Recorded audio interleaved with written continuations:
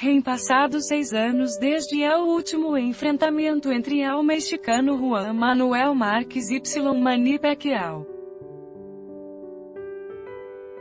Aquela ocasião, El Pujo Azteca derrotou ao Pac-Man com um potente derechazo que terminou noqueando ao filipino e Y tras três pelias prévias. El triunfo se foi do lado do pupilo de Nato Beriste. Aquela pelia deixou aberta uma possibilidade de ver um quinto episódio entre Pacquiao e Y Marques. Lo cierto es que tras seis anos de espera la pelia nunca se realizou.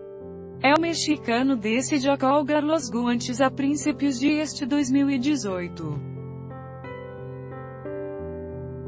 Mientras que, Pac-Man tendrá la que possivelmente ser sua última pelea é o próximo 15 de julho, mucho será rumorado de um possível regresso aos quadriláteros por parte de Juan Manuel Marques, para enfrentar a Pacquiao. Sem embargo, através de sua conta de Twitter, el mexicano assegurou que não volverá a pelear com el filipino sem importar la quantidade de dinheiro, com Pacquiao de ano peleará.